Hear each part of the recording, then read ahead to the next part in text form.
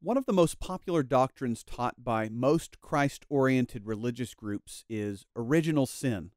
Original sin states that each of us was born in sin based on Adam and Eve's original sin. The doctrine teaches that while Adam and Eve were made in the image of God, that image was corrupted when they sinned. Accordingly, each of us is born with a corrupted and sinful nature.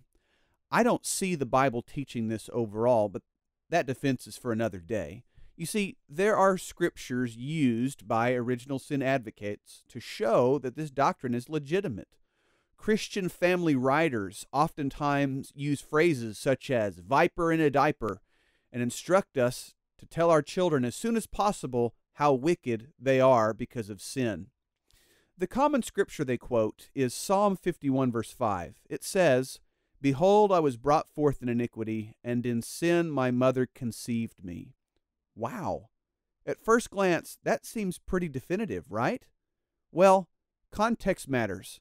A single verse cannot be lifted out of its context and used in ways that are contrary to what the context intends and what other scriptures teach. Let's take a look and consider for a moment Psalm 51, verse 5, and demonstrate how advocates of original sin are not using the context properly. Psalm 51 is a confession of King David's great sin against God. David betrayed an ally named Uriah through adultery with Bathsheba and then had Uriah murdered so that he could marry Bathsheba, who was Uriah's wife. We can see the drama unfold in 2 Samuel 11 and 12. When David was convicted of his treachery, he used his gift of poetry to show the awfulness of his sin. If verse 5 is a literal confession of a sinful nature from birth, two problems arise.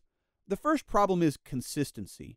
Other verses in the psalm do not make sense when taken literally.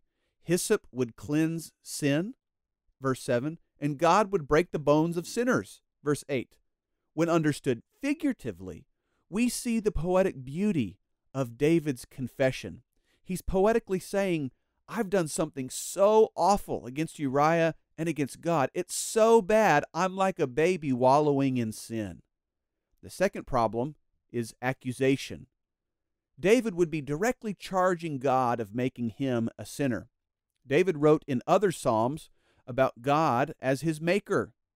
If David knew God made him, and also knew that he was brought forth in iniquity, then David's 51st Psalm would not be a beautiful confession of guilt, but an accusation, an excuse that he was simply born this way.